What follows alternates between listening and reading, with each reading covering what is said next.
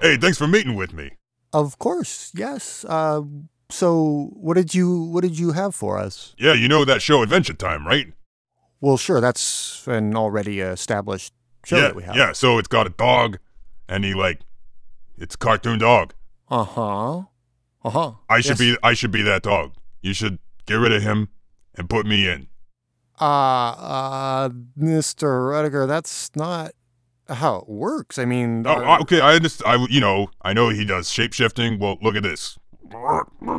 See? well, that's, I mean, a fabulous talent to have, but he Hell has it con- continuity with the audience, and I mean, there's nothing I can do. He's under contract. We can't.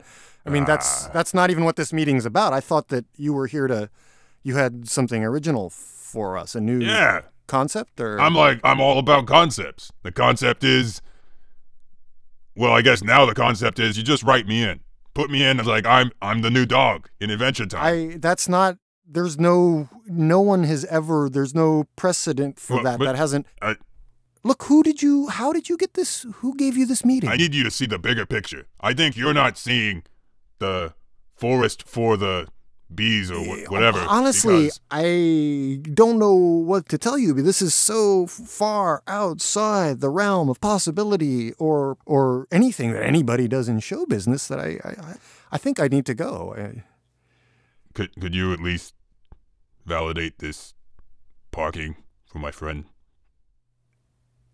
Of course, they'll take care of that at the front desk. Uh, you could, All right. Hell yeah. I knew you was a nice guy when I came in here. yeah, grab a milk bone on your way out. You know, have a great afternoon. Oh hell yeah, man! Cartoon Network is the bomb, man. It's like this, Sure. You come Oh, in yeah. here and they give you free shit, Right. and then they like give you a car, and Oh well. and then they give you a job, right? Am I right? That's where this is going. Give me the job. Well, that's that's that's the dream, isn't it, Mister Rudder? Oh yeah, that's what this whole thing's all about. So I think um, Eighty fucking years. I totally agree, and I wish you the best of luck. But Mm-hmm. shit.